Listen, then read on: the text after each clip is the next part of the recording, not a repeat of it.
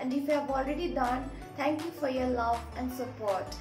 So by the title है तपाईँहरूले बुझिसक्नुभयो होला आज चाहिँ म यस one of the weight loss recipe किनुवाको recipe तपाईँहरूसँग सेयर गर्न गइरहेको छु है and it is completely based on my experience and my knowledge है मलाई जे पनि थाहा छ है I hope you will enjoy the video these are the ingredients I will be using है मैले अलिकति फाइनली चप एउटा अनियन लिएको छु then tomato carrot capsicum cabbage है अनि पिस पनि छ and that is how the quinoa looks like है it looks like a a seed eh? and uh, we can consume it as a grain no and it is one of the superfood eh? uh, quinoa it is very rich in protein fiber magnesium calcium iron and that is why it is very healthy eh?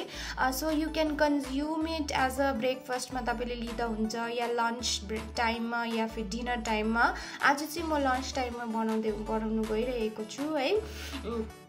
So किनुवाले चाहिँ कसरी weight loss गर्छ भन्ने भन्दाखेरि चाहिँ तपाईँको यो किनुवा चाहिँ it makes you it keeps you full है। वान्स तपाईँले यो किनुवा लिनुहुन्छ इट किप्स यु फुल है। तपाईँलाई घरिघरि भोक पनि लाग्दैन and that is why it helps you in losing your weight अनि as well as it has got many nutrients है।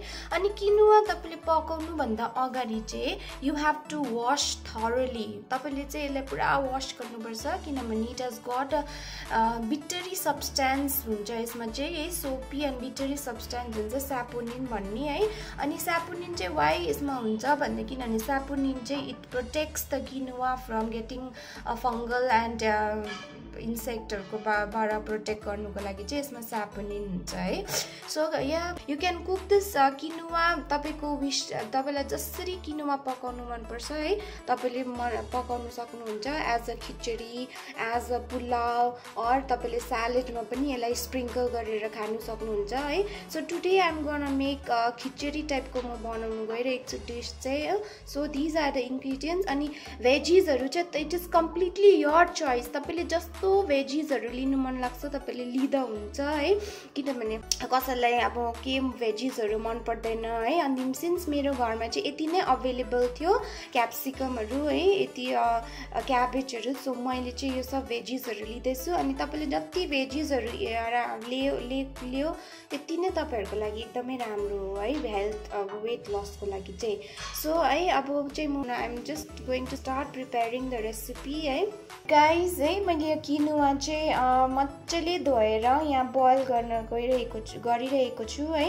यसमा चाहिँ मैले वान मेजरिङ कप है किनुवा लिएको छु अनि थ्री कप्स अफ वाटर हालेको छु है। किनभने यो चाहिँ एकजना मान्छेको लागि हो अनि द्याट इज वाइ है। सो यसलाई चाहिँ मजाले फिफ्टिन टु ट्वेन्टी मिनट्स चाहिँ मजाले बोइल गर्नुपर्छ हो। अनि after fifteen to twenty minutes यो चाहिँ अलिक थिक हुन्छ हो। अनि थिक भएपछि चाहिँ you can start the recipe तपाईँले जसरी बनाउनु मन लाग्छ है त्यसरी बनाउँदा हुन्छ होइन। अनि बाई द वे मैले यो किन्नुमा चाहिँ अनलाइन लिएको हो होइन। तपाईँहरू अनलाइन लिँदा पनि हुन्छ।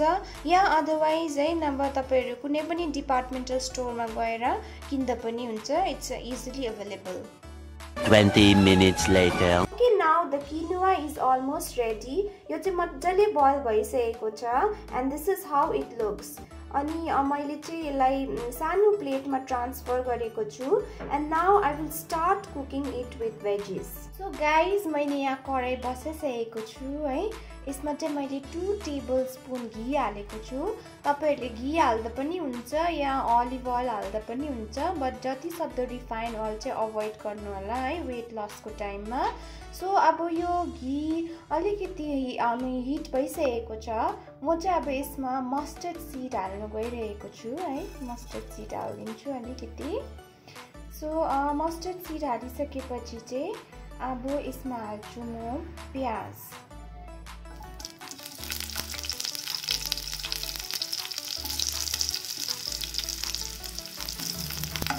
प्याज चाहिँ यसलाई मजाले चलाउनुहोस् है। सो अब यहाँ प्याज ब्राउन भइसकेको छ है। अब चाहिँ म यसमा एड गर्छु क्याबेज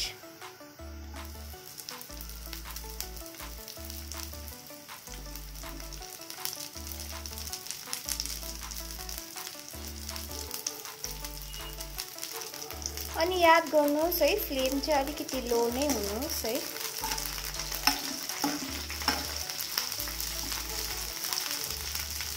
अब चाहिँ म यसमा एड गर्छु पिस है अघि हामीले रेडी गरेको ग्रिन पिस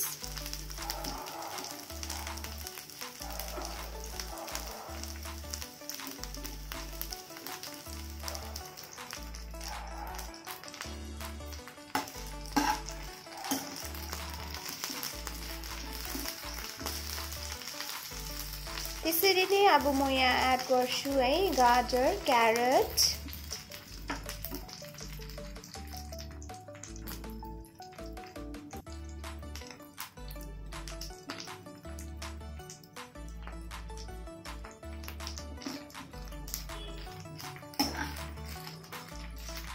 हामीलाई मजाले चलाउनुहोस् है।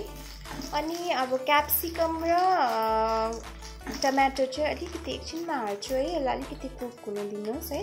एन्ड वान मोर थिङ है अब यो भेजिसहरू चाहिँ बेसी ओभर कुक हुनु चाहिँ भएन है। यसलाई हाफ कुक भए पनि हुन्छ है। बेसी कुक भएको भेजिसहरू चाहिँ पर्दैन है। ठिकैको भयो भए हुन्छ।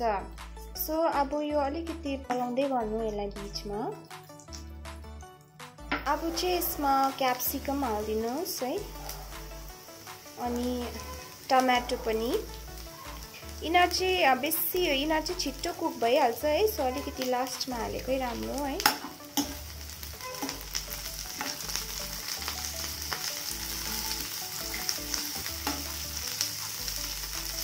अब यसमा अलिकति टर्मरिक पाउडर है। Half teaspoon turmeric powder हाल्दा हुन्छ।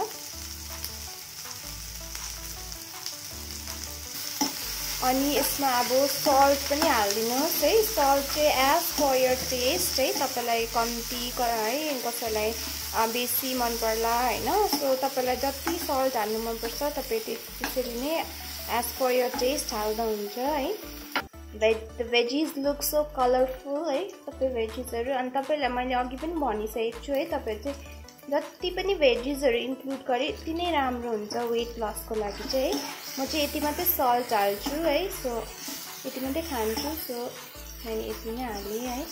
अब चाहिँ यसलाई मजाले चलाउनुहोस् यसरी।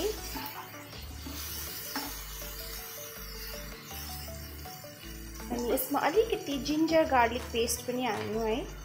अनि तपाईँहरूलाई सपोज अलिक स्पाइसी खानु मन लागेको छ भने त्यहाँदेखि तपाईँले चिल्लीहरू एड गर्दा पनि हुन्छ है। सो सते फर अ वाइल सो यो भेजिज हाफ कुक भइसकेको छ है। अब चाहिँ यसमा फाइनल हाम्रो किनुवा हाल्नुपर्छ। अघि बोइल गरेको। मजाले मिक्स गरिदिनुहोस् यसरी।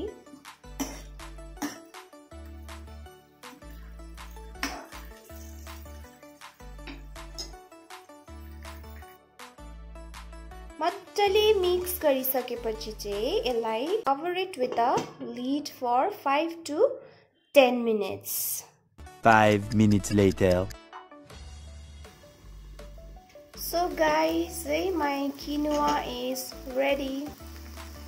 So guys है मेरो यो किनुवाको रेसिपी चाहिँ रेडी भइसकेको छ अनि यसलाई मैले यसरी प्लेटिङ पनि गरिसकेको छु। अब चाहिँ यसलाई तपाईँहरूले अलिकति करियान्डर लिभ्स है माथिबाट स्प्रिङ्कल गर्दा पनि हुन्छ है। बट सिन्स मेरोमा चाहिँ अभाइलेबल थिएन सो मैले हालिनँ। So if you any one is planning to go for a diet or is in a diet है you should definitely try of this recipe because it is very healthy है।